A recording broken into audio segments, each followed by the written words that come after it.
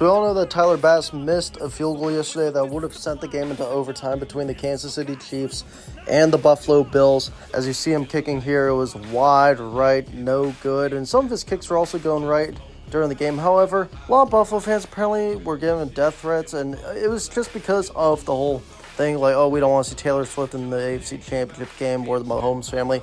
I get that. They're upset, but come on, let's be real here, classy. But KPA football report on it, but is it really his fault, or do you think it's the Stefon Diggs drop that really cost it? Let me know down below.